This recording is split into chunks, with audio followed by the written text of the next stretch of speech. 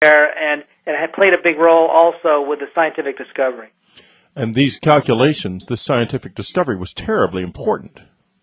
It was terribly important for my for my career, um, but also for the effects it had. It, it, you know, without going into any detail about the area it was in, since I know what the discovery was, folks, I can tell you that it, it affected uh, the world profoundly.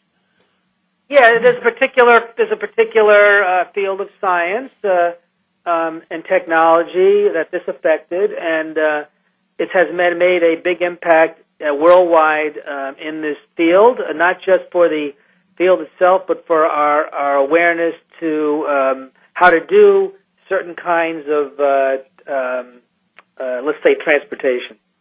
Right. Yeah. And leave it at that. Well, what a remarkable story we have been told today by, and, uh, you know, I think it's rather tragic that this is not something that you could bring forward into the scientific community and that it could maybe conceivably lead to more interactions like this and the more useful knowledge coming the way of humanity from this bizarre source. What do you think they are, Mike? What are you, do you think you're we're dealing with time travelers or creatures from another world, or exactly what? I don't know uh, what they are. Um, first of all, I have to tell the audience out there that from my experience, I'm a very, very sane person, and I, I, I um, have a, a, you know, I'm just very well established in what I do. So I'm, I'm not, a, I'm not a fringe case at all. Actually, I'm not at all, not at all. Are the establishment, unfortunately, but uh, um, um, it's hard to say what these things are. They, they certainly they exist. There's no doubt about that. I definitely saw them with my friend. She was there. She chooses not to remember it too clearly as time goes on, as people do in shock experiences. But yes, definitely, it definitely happened. It definitely had a coincidence with a major scientific work. Uh, so I say to myself, what are they? Well, um, uh, they, they, my inclination is they may not be. Uh, you know, one is tempted to say they're space travelers, but I would tend to doubt that. Um, my my my uh, gut feeling is that they might be uh, uh, uh, some kind of life uh, form that exists in, in alternate dimensions from ours, um, and they may actually be time travelers as well, which they could be from the future or from the past. And and their role, I believe, is to is to affect our civilization by uh, by making um, um, uh, contact with various people who are in various situations to do things that can work for the betterment of our society and world as a whole to move it forward.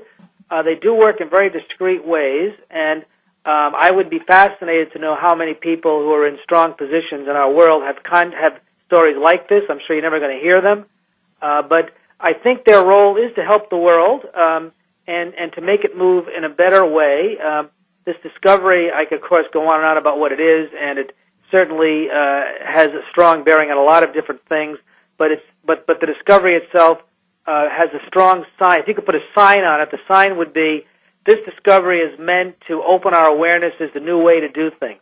And yes.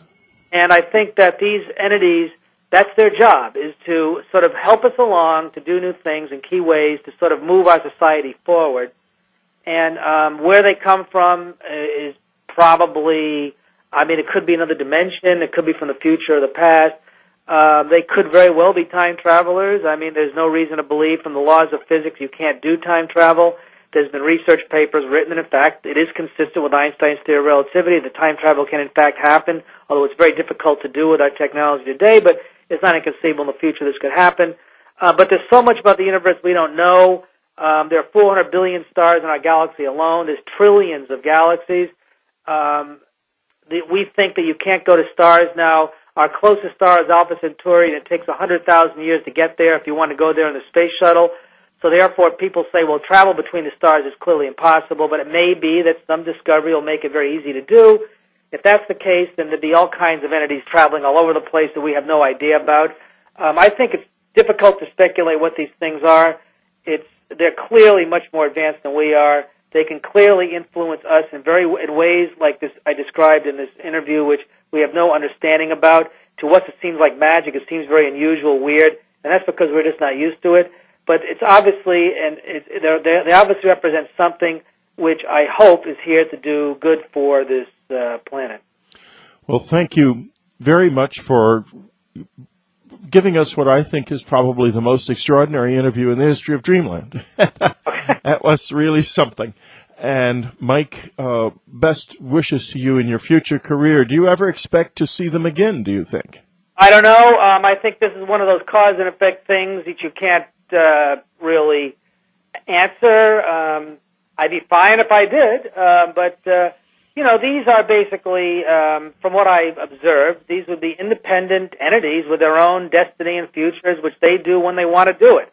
Right. So if they decide to get in contact with me again, they certainly know how to do it, and you know, so it's really up to them. Um, and, and I don't know what their agenda is. Well, Mike, thank you very much for being with us, and all best wishes in your future for your future career.